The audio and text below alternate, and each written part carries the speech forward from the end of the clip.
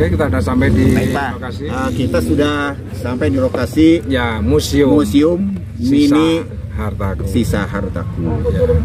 Didirikan oleh siapa namanya? Masih ingat? Ini Pak Serianto namanya. Pak Serianto itu Jadi pemilik, eh, Pemilik iya, rumah ini? pemilik rumah itu namanya Pak Serianto. Serianto. Kebetulan Pak Serianto itu dia seorang seniman, makanya dia punya ide Hmm. untuk nyimpan barang-barang yang terdampak erupsi tahun 2010. Dijadikan kayak galeri Iya, seperti betul. itu. Terus eh, Hah? Ya. apa hal yang dulunya di sini pernah ada korban berapa orang? Untuk korban jiwa di sini nggak ada, Pak. Ada. Jadi semua warga jadi sebelum terjadi erupsi itu udah dievakuasi semua, Hmm. termasuk Pak Rian juga yang Sudah. pemilik rumah itu udah dievakuasi semua, bapak keluarganya Ya. juga udah dievakuasi. Cuma hartanya tidak bersisa. ya, Yang tersisa sekarang yang dipajang. ya, ya. Dipajang. Jadi dia biasa kan kalau ngungsi itu kan dia cuma bawa apa bekal seadanya aja, Pak. aja Ya. pakaian yang di badan biasa. Iya, iya. Kan biasanya kalau kemarin tahun 2010 itu sebetulnya itu udah eh, lebih dari satu satu apa ya dua dua minggu lebih pak kita ngungsi itu sebelum terjadi erupsi.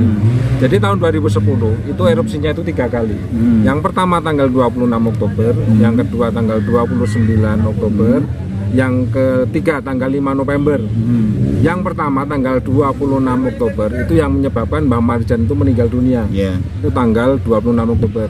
Hmm. Kemudian terjadi lagi erupsi tanggal 29 Oktober. Itu yang lebih besar. Hmm. Terjadi lagi erupsi yang lebih besar lagi yang tahun 2010 yang tanggal 5 November. Hmm. Nah, menurut cerita tanggal yang tanggal 5 November yang erupsi terakhir itu itu adalah erupsi yang siklusnya 100 tahunan. Hmm. Jadi pada tahun eh, 100 tahun sebelum tahun 2010 itu pernah erupsi juga.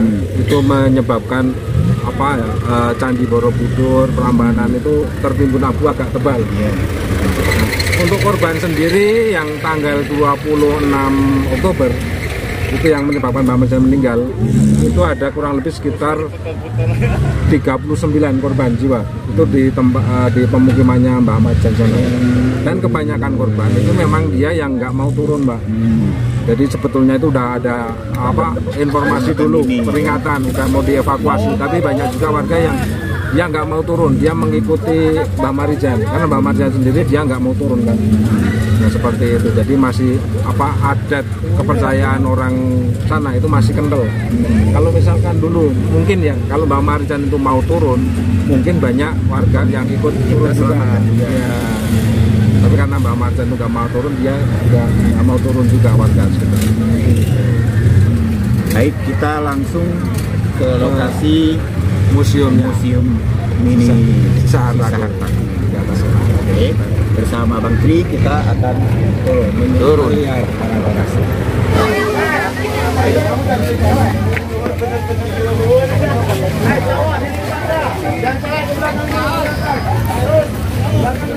Turun. Tiga tujuh patah dulu. Ya, siap. Mana ini teh? Ke dalam museum Museum Patilasan uh, Lapa.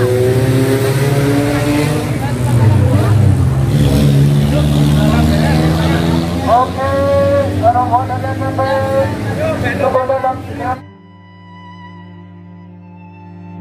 Merapi tak pernah ingkar janji, sebuah ungkapan yang kerap dilontarkan ketika membicarakan gunung yang membentang di perbatasan Yogyakarta dan Jawa Tengah ini.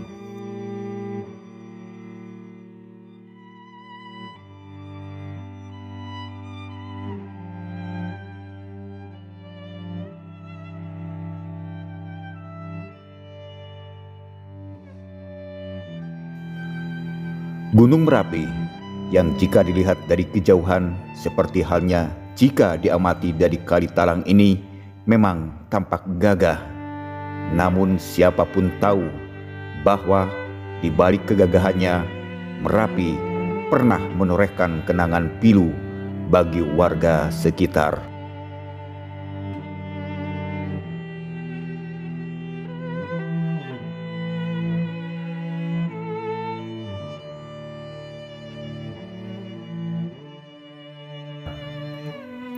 Sebut saja letusan Merapi yang pernah terjadi 2010 silam.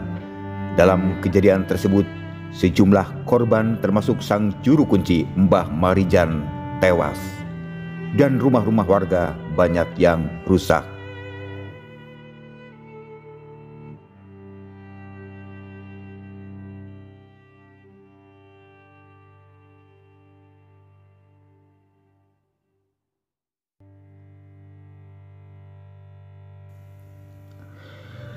Ada satu tempat yang bisa didatangi kala ke Jogja untuk melongok bagaimana keganasan letusan Merapi tahun 2010 silam. Tempat tersebut adalah Museum Sisa Hartaku.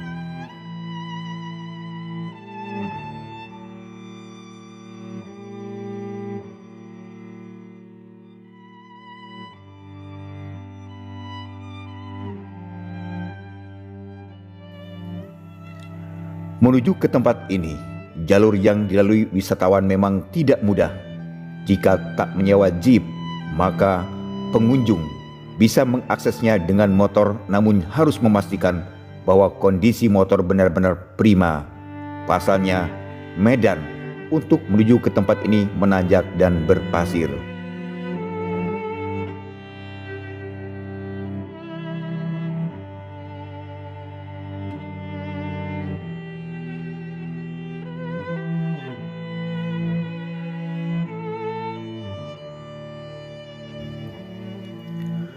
Museum Sisa Hartaku adalah museum milik warga yang mengumpulkan harta-hartanya yang tersisa akibat letusan Gunung Merapi. Berada di sana, pengunjung bisa melihat ember, gelas, dan berbagai peralatan rumah yang nyaris meleleh.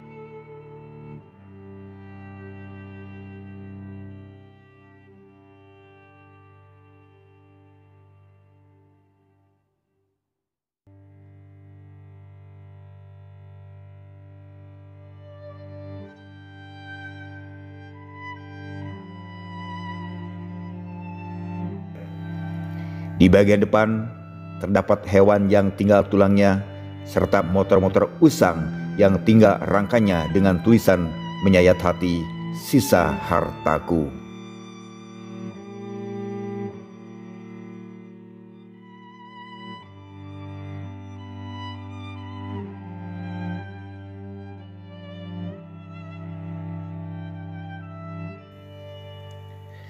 Di beberapa sudut juga tertera tulisan-tulisan pilu yang mengingatkan tentang keganasan Merapi dan bagaimana sedihnya sang pemilik rumah saat semua seolah habis.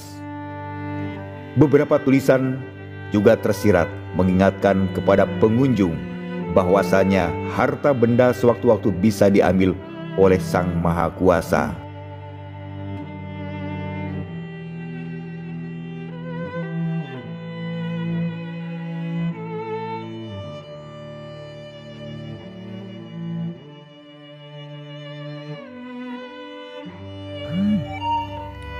Di salah satu bagian ruang, sebuah jam tergantung, namun jam tersebut tampak seperti bekas terbakar. Jam ini menunjukkan penanda waktu pukul berapa terjadinya bencana alam tahun 2010 silam.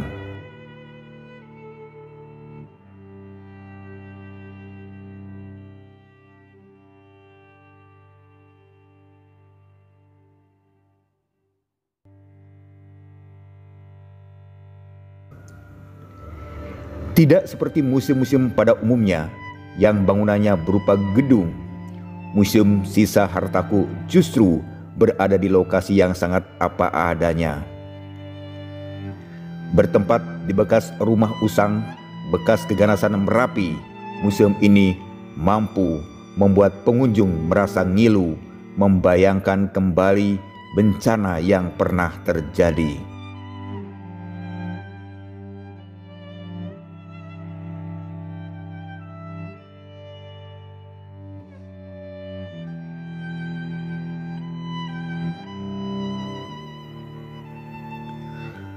Museum Sisa Hartaku beralamat di Jalan Petung Merapi, Petung Kepu Harjo Cangkringan, Kabupaten Sleman. Jika berkunjung ke tempat ini, pengunjung bisa sekalian mencoba naik jeep atau mendatangi beberapa tempat wisata di sekitarnya seperti omahku, memoriku, dan lain sebagainya.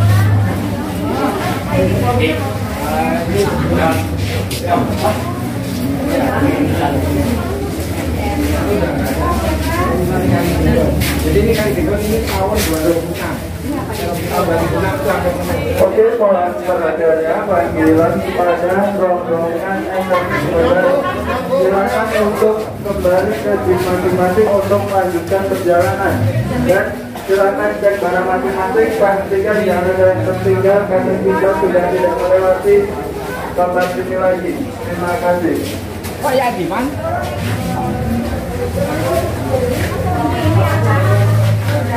Ini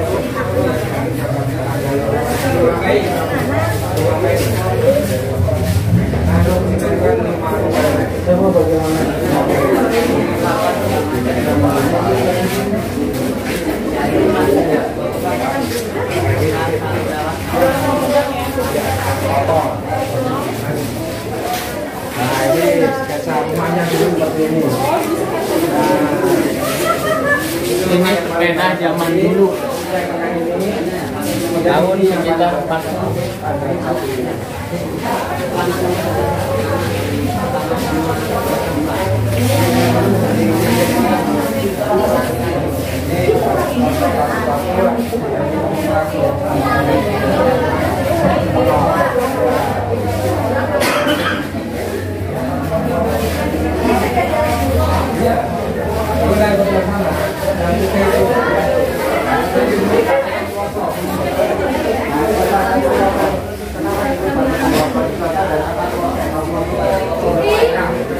ini adalah hasil dari apa apa yang dilakukan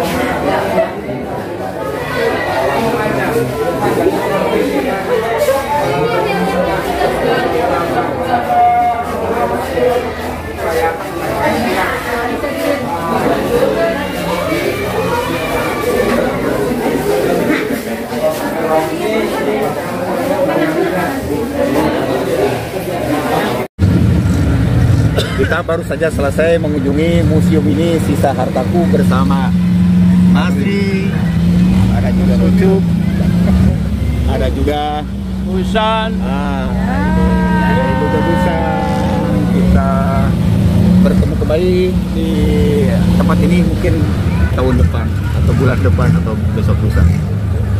Terima kasih untuk sahabat Gunung Terus. Pantau terus di channel Gumilang Guru. Tidak.